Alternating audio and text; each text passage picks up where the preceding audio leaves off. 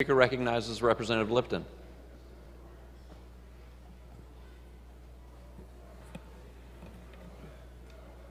Yes, th- thank you, Mr. Speaker. I too rise in, uh, in opposition to this, uh, uh, to this uh, conference report, and I uh, would also urge uh, a no vote. Um, I'll be somewhat specific um, in terms of some things in here that I think are extremely problematic, in addition to what's already been, um, what's already been, what's already been discussed.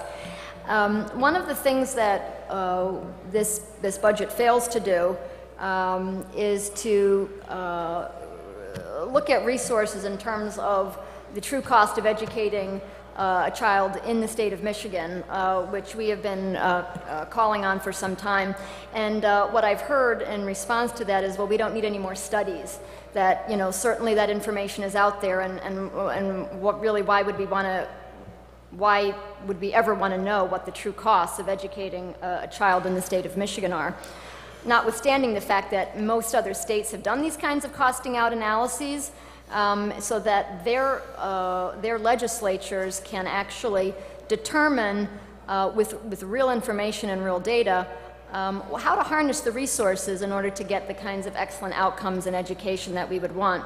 But I'd note that um, in this particular budget, there's $250,000 that are being used for um, a, uh, a, study, a, a, very good study, uh, uh, no doubt, um, to prepare a report analyzing states' current career readiness education system. I don't doubt that that's appropriate, um, but certainly uh, when we look at a budget that fails to, um, to uh, appropriate dollars that we know we need to appropriate in terms of looking at what we should be spending as opposed to um, what we're doing now, which is just really rearranging the deck chairs on the Titanic.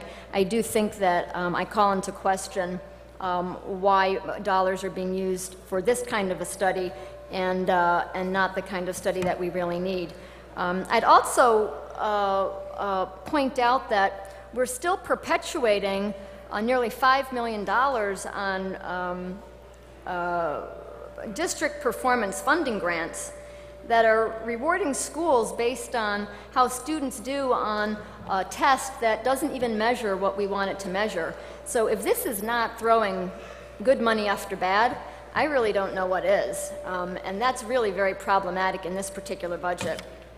Um, finally, um, we are still continuing to fund the Michigan Virtual University. And if that's not a boondoggle of all boondoggles, I don't know what is.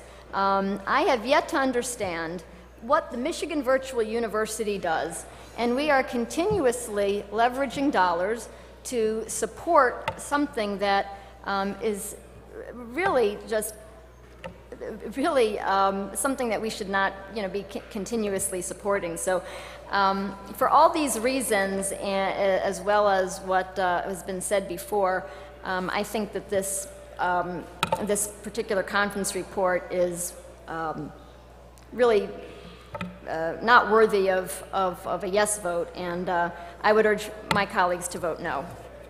Thank you, Representative Lipton.